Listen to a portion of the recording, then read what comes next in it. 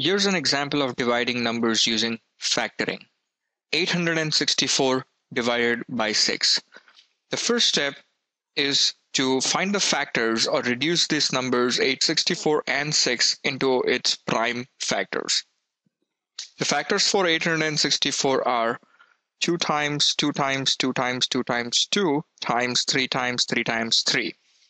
And the factors for 6 are 2 times 3.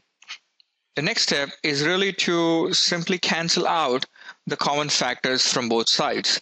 So we cancel out the 3 from both sides, cancel out the 2 from both sides, and now we are left with 2 times 2 times 2 times 2 times 3 times 3 and 1. Now we could simply multiply the leftover factors and we get 144 divided by 1 and hence the answer is simply 144. So 864 divided by 6 is equals to 144. And that's it. Thank you.